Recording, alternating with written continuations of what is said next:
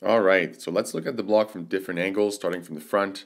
What I want you to look at here is the length of that second step. Okay, look at how long it is to help me create that momentum so I can jump and put my hands over the net. And also look at my arms, how they're bent on my backswing. Looking in from the side, what I want you to notice is how the hips open, but not too much.